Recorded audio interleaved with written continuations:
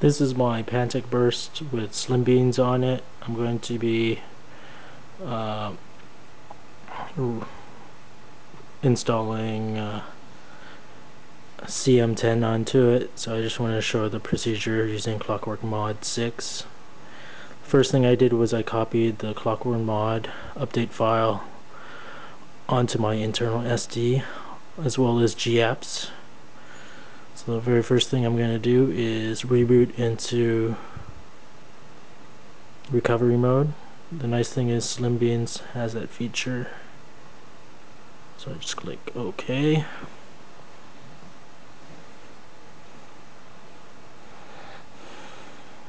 Once it loads into Clockwork Mod, I can use the volume buttons to go up and down.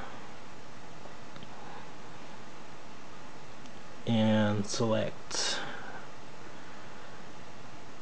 how to install. So the very first thing I'll do is I'll install zip from SD card. I'll use the CM10 update file. So I just use the up and down vol volume buttons to navigate and the power button to select. Installs it from SD card.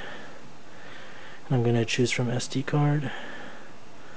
And I put in my root directory so I just have to find it. And there you see. And it asks me, I scroll down to yes. So,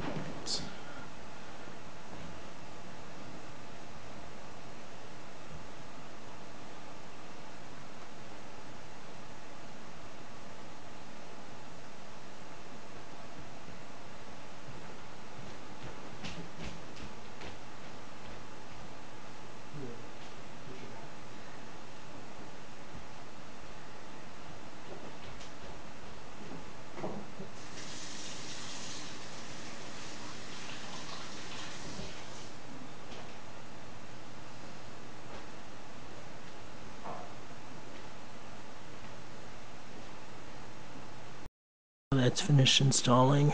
I will again now install GApps so I'm still here.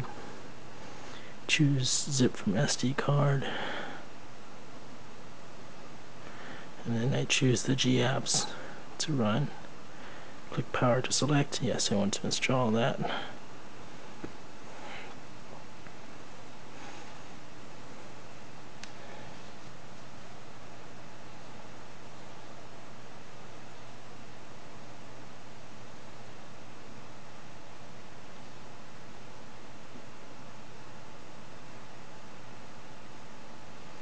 once it's finished installing those two update files you go back using volume button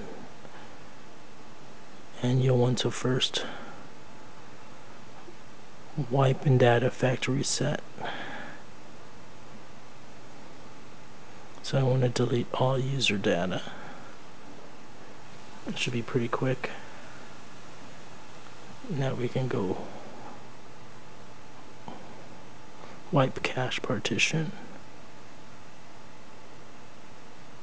Oops. It's too quick there. That should be pretty quick. And then last thing is to go down to advanced and wipe Dalvik cache. Wipe Dalvik cache.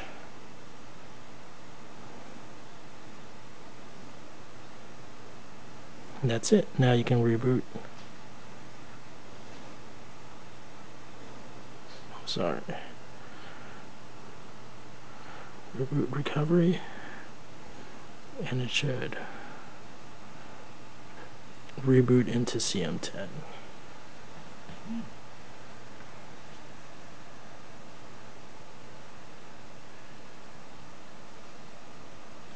Oops, I mean reboot system now, not reboot.